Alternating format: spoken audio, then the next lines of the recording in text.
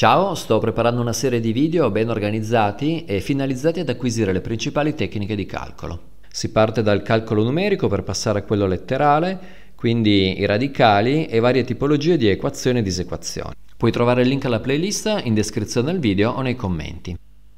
In questo video vediamo un problemino di matematica che vi confesso ha una scarsa utilità nell'ambito delle scienze applicate, ma può essere un simpatico rompicapo. Abbiamo qui un'equazione di secondo grado, 3x alla seconda più 5x meno 2 uguale a 0, che ha sempre due soluzioni nell'insieme dei numeri complessi. Eventualmente possono essere soluzioni coincidenti.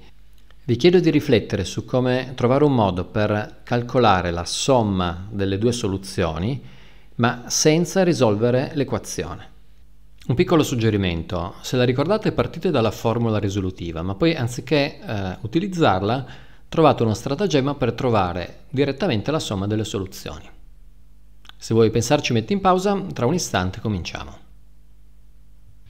Ok, cominciamo. Qui in rosso ho scritto una generica equazione di secondo grado, ax alla seconda più bx più c uguale a 0, e le soluzioni si calcolano con queste formule qua sotto, quella che prima ho chiamato formula risolutiva.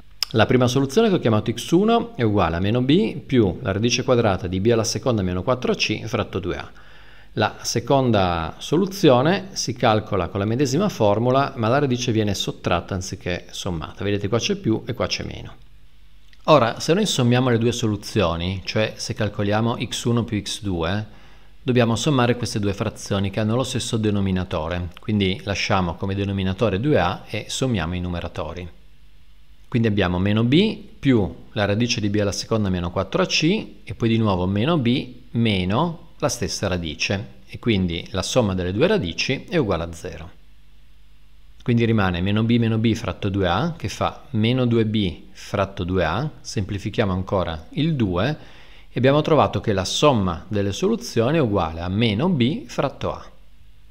Nel nostro esempio b è uguale a 5 mentre a è uguale a 3 e quindi la somma delle soluzioni è meno 5 terzi. Una piccola osservazione, se lavoriamo nell'insieme dei numeri reali, prima di concludere che la somma delle soluzioni è meno 5 terzi dobbiamo assicurarci che il discriminante, cioè b alla seconda meno 4ac, sia maggiore o uguale di 0. Se invece lavoriamo nell'insieme dei numeri complessi, queste soluzioni esistono sempre e eh, i radicali si annullano in, in ogni caso, anche se c'è un numero negativo sotto radice.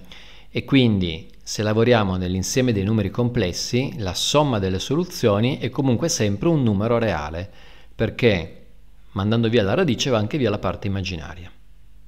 Spero che questa curiosità matematica ti sia piaciuta. Nel prossimo video vediamo come trovare il prodotto delle soluzioni senza risolvere l'equazione. Ciao e grazie.